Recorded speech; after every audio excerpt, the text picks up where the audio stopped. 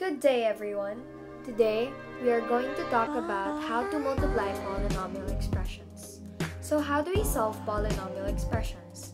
One way of solving polynomial expressions using multiplication is the lattice method. Here are the following objectives we need to accomplish by the end of the video.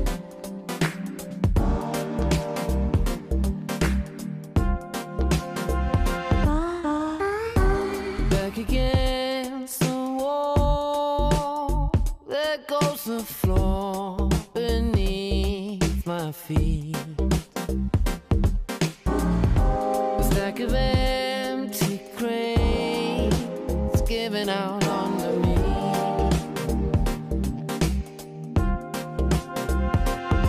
I take one more sleepless night. Then book the cheapest flight buy my head some space to clear.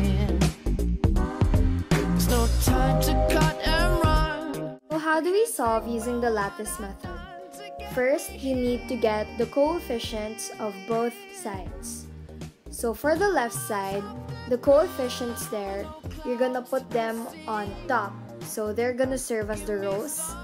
And the right side, the coefficients from the right side will serve as the columns. Then you're going to create boxes and divide them into halves. And then you're gonna make it over zero. So it would be easier to see the diagonal lines. Then multiply the columns to the rows.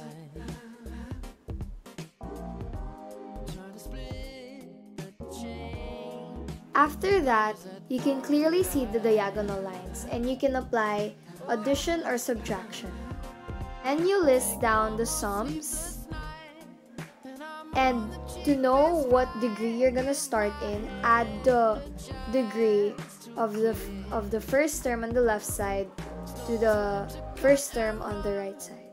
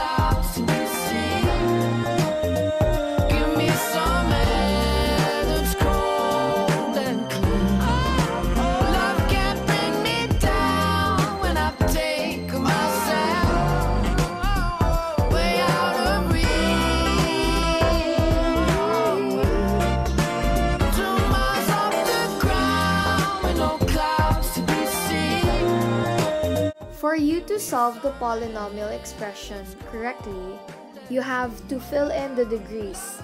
So if it's missing a certain degree, you have to fill it in with a zero. Like for this example, there is no cube, so you fill it in with a zero. And on the second term, there's no coefficient on the first degree.